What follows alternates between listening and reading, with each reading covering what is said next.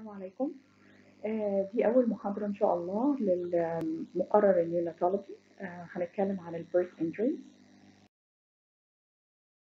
The birth injury is an impairment of the infant's structure or function due to adverse influences that have occurred during birth. ممكن ال birth injuries دي تكون antenatal, intrapartum, or happen during resuscitation. It may happen despite the competent obstetric care. Other injuries may be latent initially and then they result in severe sequelae afterwards. What are the factors that predispose to a birth injury? First, if we have a mother that is prima gravida, if is short, if she has maternal pelvic anomalies or cephalopelvic disproportion, if the labor was prolonged or rapid, if we have oligohydramnios an abnormal presentation. Sometimes the usage of um, forceps or instrumental delivery may predispose to a birth injury.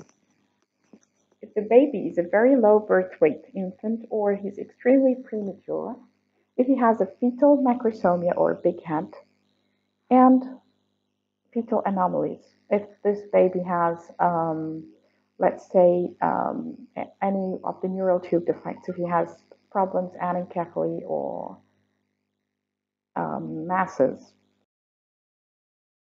Let's have a close look on the picture of the skull. First, we have the skin. Um, I'm trying to work with the laser pointer. Yes, here we go. We have the skin, and then we have a layer of the galea, or the aponeurosis, the fascia. And then we go here to the periosteum, which is the lining over the bone, and then there is the bone, or the skull, and there start the layers of the meninges. To understand the different birth injuries concerning the skull, you'll find that the caput starts here. It is under the skin, just beneath the skin. The cephalhematoma, it is subperiosteal lesion that we find that it does not cross any bone. It does not cross the midline. And here's the subgaleal hemorrhage, which is under the fascia or the galea aponeurosis.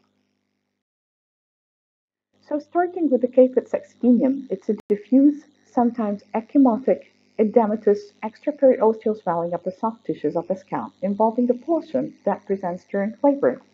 It may extend across the midline and across the sutural lines, and I will show you by picture now. The edema disappears during the first few days of life you do not need to start any treatment to your patients. You just reassure the patient that it's a temporary lesion that will resolve by. Look at the picture. We find that the caput it extends, it crosses the midline. It may take more than one bone. On the contrary, we find that the cephalhematoma is a subperiosteal hemorrhage that usually follows instrumental delivery it is limited to the surface of one cranial bone and it does not cross the sutural line. It's usually in the parietal region. It happens due to rupture of the blood vessels that traverse from the skull to the periosteum. Large cephalhematomas may occur with vitamin K deficiency, and, and uh, you, you all know that vitamin K injections are routine after the birth of the baby. There is no discoloration of the overlying scalp. The swelling starts after several hours after birth. Sometimes we can find an underlying linear skull fracture that is associated with the cephalhematoma. It takes around from two weeks to three months to be resolved, longer than the, caput, of course. No treatment is needed, it self resolves, unless this patient goes into um, hyperbilirubinemia and may need phototherapy or, or other maneuvers to reduce the bilirubin. Other complications include infection and calcification of the hematoma.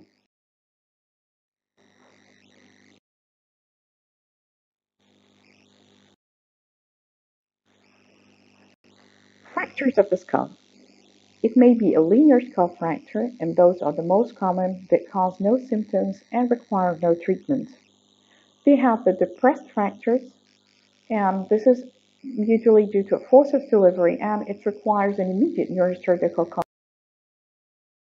The subgaleal hematoma is the bleeding in the potential space between the scaphoid ostium and the galea aponeurosis.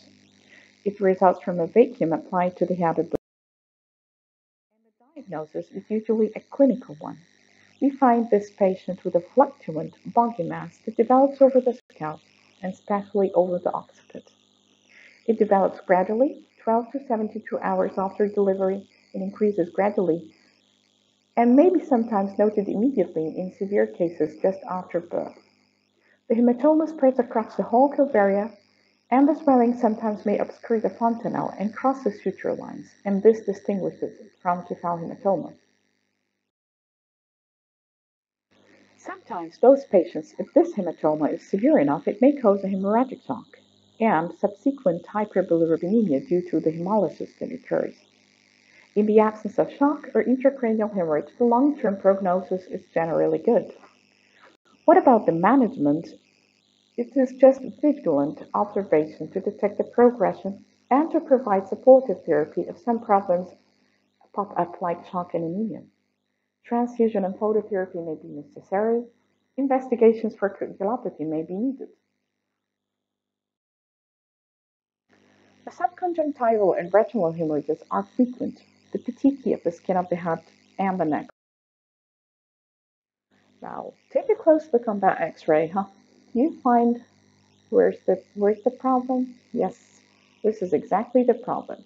We have a fractured clavicle It's the most common fracture during labor. It's usually green stick and occasionally a complete fracture. It's caused by a difficult shoulder delivery in the vertex presentation or extended arms in breathing. The clinical picture is that this patient cannot move this arm. You can find pain on passive movement. I cannot elicit the Moro reflex on that side so you'll find it one of the causes of an asymmetric Moro reflex. We find crepitus over the clavicle, and it may present with a callus if it just um, heals improperly by a palpable mass that denoted at the age of one to two weeks. Um, can this callus uh, press on the um, on the lung and cause respiratory distress? This is sometimes happen, but rare. The X-ray confirms the diagnosis, and the treatment is just, it's just by immobilization of the arm for the 7 to 10. Fractures of the humerus and the femur may happen. We find that the Moro reflex is absent on the affected extremity. The traumatic lesions associated with brachial plexus injury include the following. Fractured clavicle in 10%, fractured humerus, subluxation of the cervical spine, cervical cord injury, and facial palsy. Look at this poor little baby. We'll find, um, look, look at the position of his arm. Describe it. The brachial plexus injury is either Erb's palsy or Klumpke paralysis, or the paralysis of the whole arm. Erb's palsy happens when there is an injury of the cervical roots, the fifth and the sixth. And we find that there is, sorry, we find that there is failure of abduction of the arm, and um, he cannot supinate the forearm. So the characteristic position of that arm is that it's adducted, it's internally rotated, and it's pronated. We find that the biceps and the Moro reflex are absent on that side. If the lower roots, 6 and 7, are fine, you'll find that the grasp reflex is intact because it's it, the Erb's um, the arm, not the hand. The management consists of prevention of the contractures. We immobilize the limb gently across the abdomen for the first week and then start some passive range of motion exercises at all joints of the limb. If there is no improvement, we'll have to consult a neurosurgery. Klumpke paralysis is a rare injury. It happens to C7, C8, and T1, and it produces a paralyzed hand with an absent grasp reflex. If the sympathetic fibers of T1 are involved, you will find the symptoms of Horner syndrome. You will find ptosis and miosis on the side of the injury.